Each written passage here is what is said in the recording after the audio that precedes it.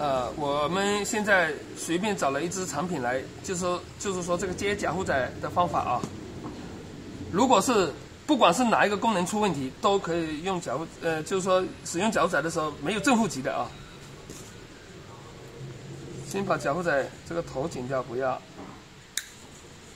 啊，然后把这个线拉开。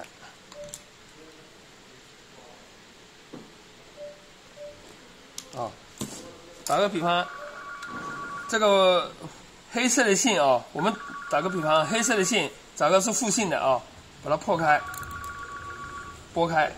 如果说是那个那个行车灯出问题啊，那就把行车灯拉开，啊，拨开。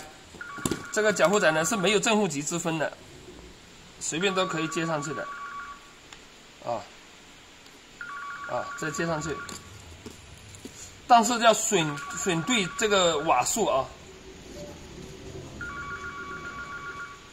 啊，这个接上去，好，要接紧，接牢固啊，不要接错线了啊，反正是没有正负极的。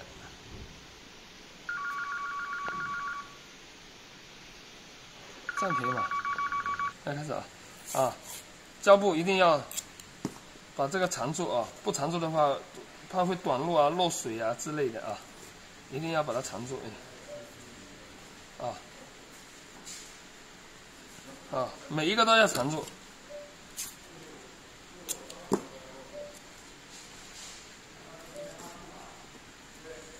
全部要缠住啊，好